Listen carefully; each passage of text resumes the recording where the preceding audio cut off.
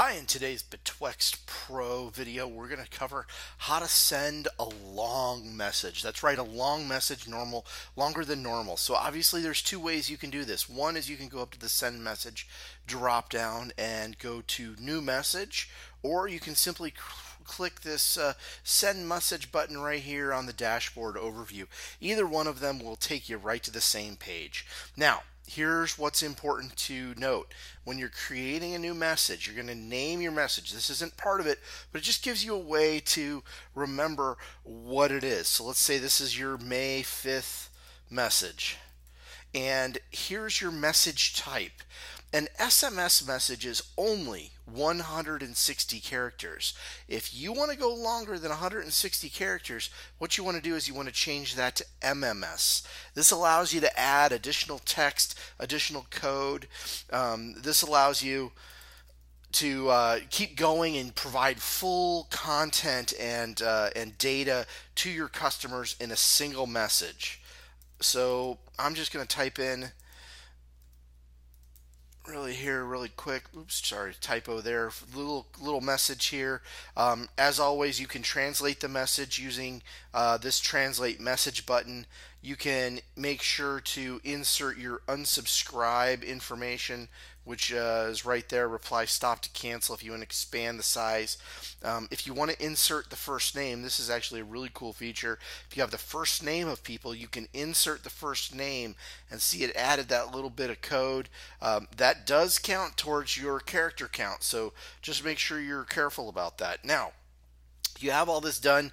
You've uh, you've you've added the name, you've added your message, um, you've added your unsubscribe info. If you want to add a short link, this is where you this is where you type it in.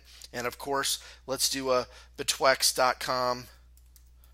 Here's a great video. Let me t- paste that in. This is a great uh, link for sending bulk text messages. You click the create an insert button, it'll go ahead and insert your short link right there. As you can see, it automatically populates it right into the message, no problems. Then what you can do is you can send yourself a test message. You can send this message to a single individual if you want, or you can pick a group. So let's say we're going to send it to the uh, 11th, the 330 group.